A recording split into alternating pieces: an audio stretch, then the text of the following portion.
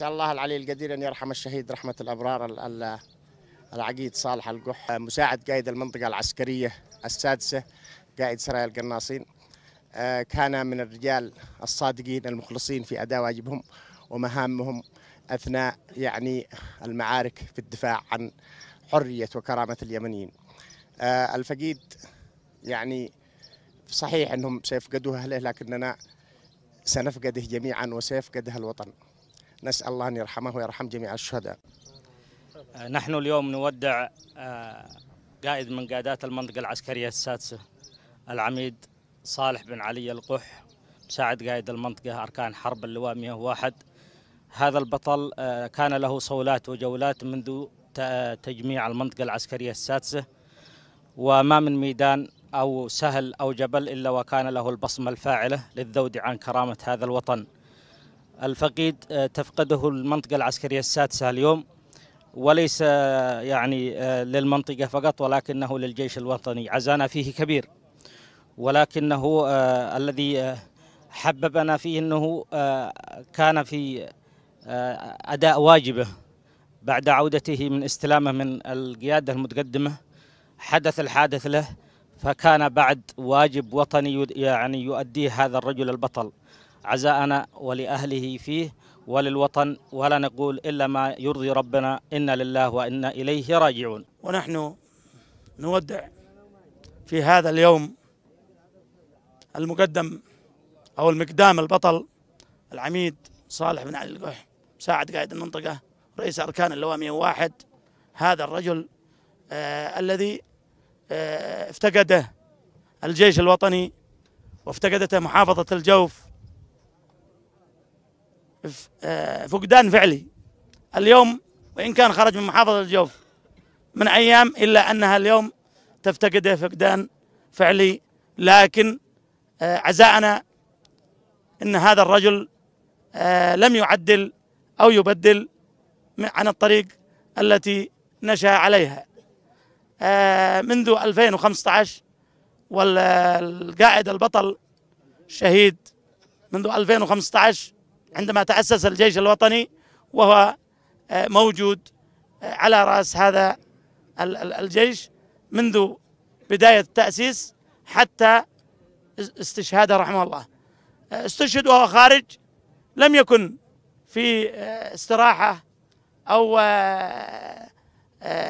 هنا أو هناك بل استشهد وهو خارج من مواقع الشرف والبطولة رحمة الله تعالى عليه. نسأل الله أن يرحمه وأن يغفر له وأن يعظم الأجر لنا جميعا ولوالده ولأهله ولجميع آه، قبيلته. بني نوف نسأل الله أن يرحمه وأن يغفر له. نسأل الله أن يرحم العميد صالح بن رحمة الأبرار. آه، فقدانه مش علينا كقبيلته بل على محافظته وعلى الجيش الوطني. رجل بمعنى المجاهد العسكري الذي فاهم العمل وفاهم العسكرية وفاهم كيف يواجه الأعداء في يوم اللقاء.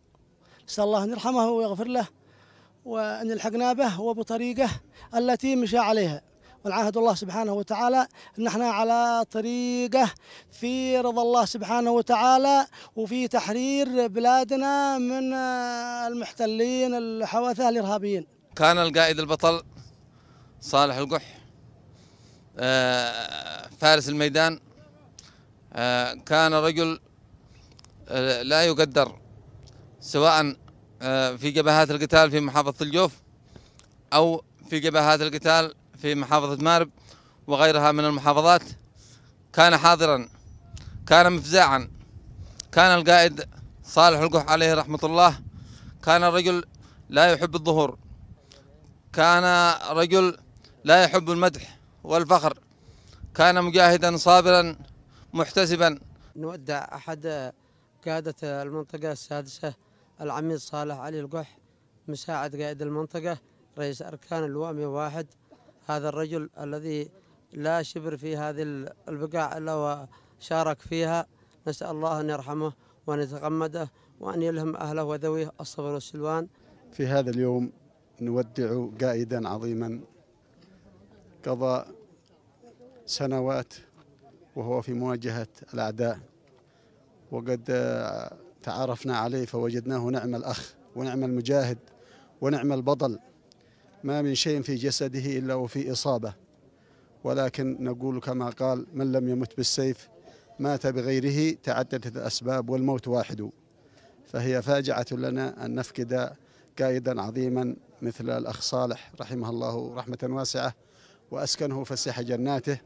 وهكذا الإنسان يبقى مستمرا مع الحق في مواجهة الباطل إلى أن يحق الله الحق ويبطل الله الباطل وهو قريب بين الله عز وجل.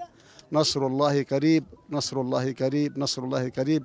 وليس عندنا أي شك في أن الله سبحانه وتعالى سينصر الحق ويبطل الباطل. فقدنا أحداء ربوع الشرعية وقاداتها القائد البطل المضحي المقدام. الذي لم يعرف التاريخ مثله إلا في صعد الصحابة مثل القعقاع وأشكاله. هذا الرجل ما في معركة ولا ميدان له خاضها ولا نامت عيون الجبناء جاه القضاء والقدر المقدام هذا ما ما يقرب العقل